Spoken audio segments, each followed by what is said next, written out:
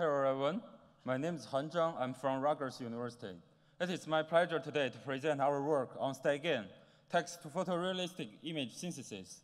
This is a joint work with researchers from Rutgers University, Lehigh University, the Chinese University of Hong Kong, and Baidu. The task we are dealing with is to automatically synthesize realistic images from human written descriptions.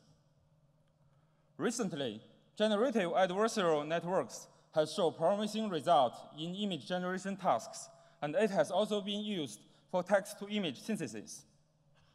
However, due to the unstable training behavior of GAN, it is very hard for the previous models to generate high-quality images, especially when conditioned only on the text descriptions. To address this challenge, we propose a two-staged stacked generative adversarial networks to draw high-quality images through a novel sketch refinement process. As shown in this slide, first, given a text description, our stage one GAN first sketch the basic shape and color of the object, and the stage two GAN take the stage one result and the text description again to generate a higher resolution image. Here is the overview of our approach. It has three major components, the condition augmentation, stage one GAN, and stage two GAN. I will walk through each component next. So, as the start of the pipeline, given a text description, a global sentence embedding is first extracted using a pre-trained text encoder, such as character level ConvNet. However, the sentence embedding is usually high-dimensional. Given limited amount of training data, it usually causes discontinuity in the latent manifold, which is not desirable for learning the generator. To mitigate this problem, we propose conditioning augmentation. That is, instead of directly using the deterministic text embedding, we sample the condition variable from a Gaussian distribution, where the mean and the standard deviation are both functions of the text embedding. As shown in this slide, first, a fully connected layer is built to compute the mean and the standard deviation. And then the condition variable is sampled using the reparameterization trick.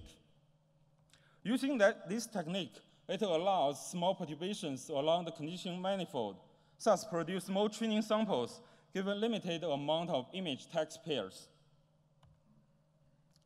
Once we get the condition variable, we can feed it through the stage one GAN to generate the low resolution image. As shown here, the condition variable is first concatenated with a noise vector and then reshaped into 2D and fed through a series of upsampling blocks to generate the 64 by 64 images.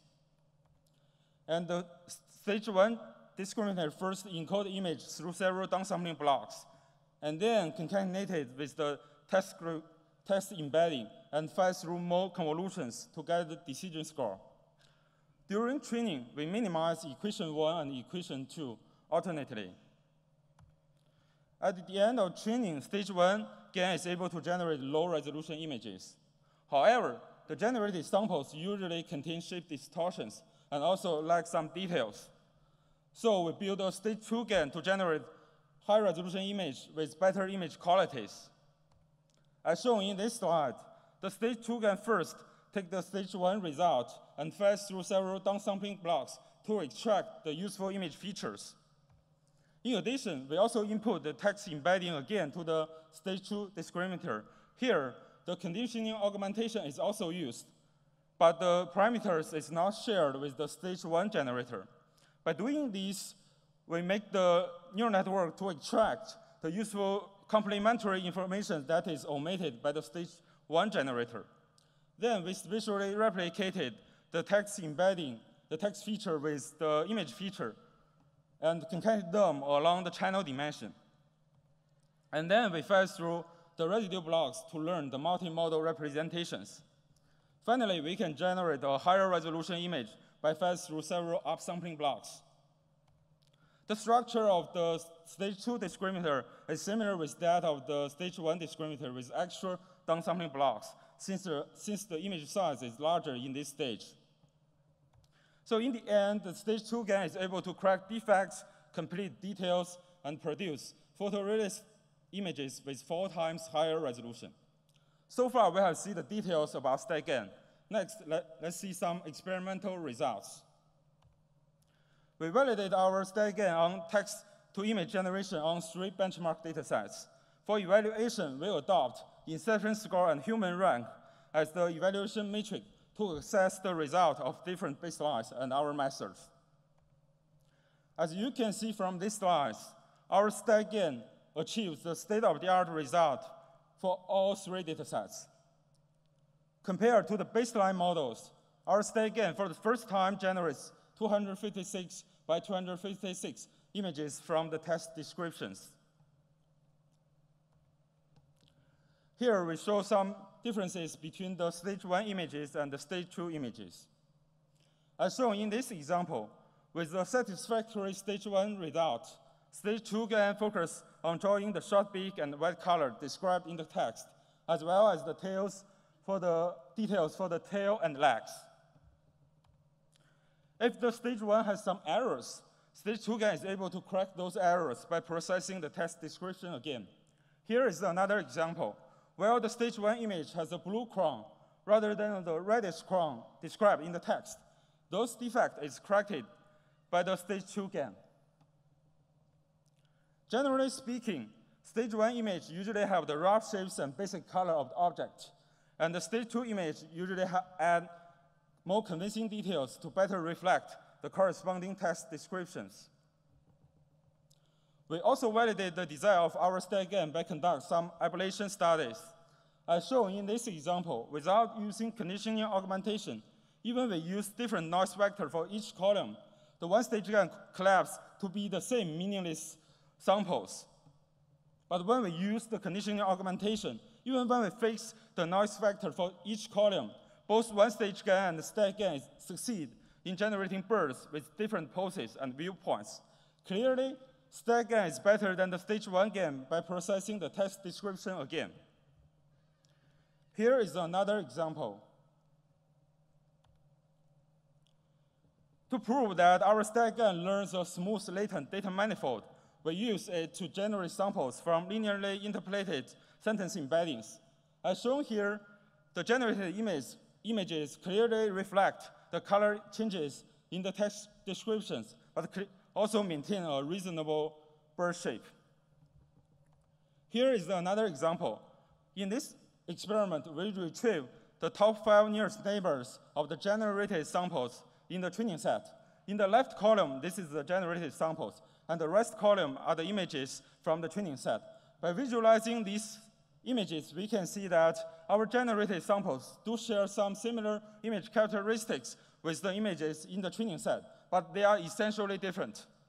From these two experiments, we can see that our StackGAN is able to generate high-resolution image, not by simply memorizing the training samples. But since so far we have seen like StackGAN is able to generate high-quality images, but I wa don't want to give you the impression that the text-to-image synthesis problem is solved. In fact, in some cases, our StackGAN still generates meaningless samples, especially when the stage one result is in a collapsed mode. To address this problem, we did a follow-up work. In, in that work, we, we proposed a multi-stage StackGAN to jointly approximate multiple data distributions. By doing this, we add more regularizations to each subtask to reduce the chance of mode collapse. We have uploaded this paper to arXiv. Please take a look if you are interested. To sum up, in this work, we proposed stack generative adversarial networks for synthesizing high-resolution images from text descriptions. Compared to the baseline models, our StackGAN first generates, first for the first time, generates images of 256 by 256 resolutions with photorealistic details from the text descriptions. The proposed conditioning augmentation is able to stabilize conditional, conditional GAN training and improve the diversity of the generated samples. And it can also be useful for potential impact towards modeling the creativity. Our code is online. Thanks for the attention. I'm happy to take the questions. Thank you. We have time for one or two questions. Here's one. Yeah. Can I ask? Yeah. So I have one quick question regarding the, the evaluation. Yeah. So you use inception score and human ranking, uh, but shouldn't you measure whether the generated image actually captures the, the content of the text description? Yeah, so that's a good question. For the original inception score, it basically evaluates the image quality. So that's why we conduct human evaluation. For the, hu- for the human evaluation, it, it needs to uh, assess whether first it is a realistic image, and the second is that whether the generated image is conditioned on the text. Okay, thank you very much. Yeah. Okay, thank you.